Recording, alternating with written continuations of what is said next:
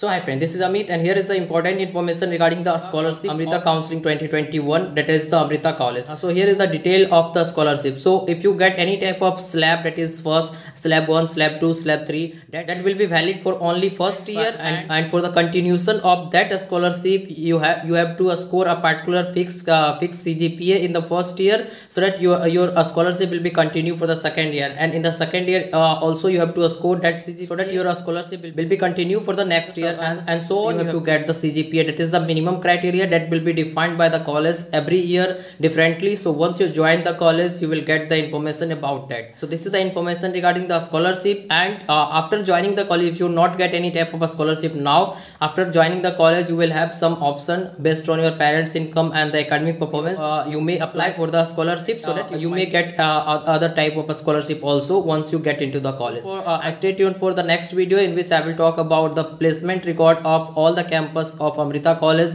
that is Bangalore, Amritapuri, Coimbatore, Chennai, all the campus and uh, and I will I will try to provide you which branch is best for you so that you can take the admission in that. So if you need any type of counseling guidance for Amrita or Manipal or any other counseling you can contact me through instagram or whatsapp number but only if you need counseling guidance. Because for counseling guidance you have to register with me so that i will take the full responsibility of your all counseling. Not only amrita or manipal but all counseling that you will do in 2021 and i will provide you the best out of your marks or rank that you have scored for sure. So come to my whatsapp or instagram only if you need counseling guidance because you have you have to register with me and you have to pay some amount for that. So thanks for watching this video. Please try to subscribe this channel so that you will get further videos also. And try try to share this video to your friends so that they can also get this information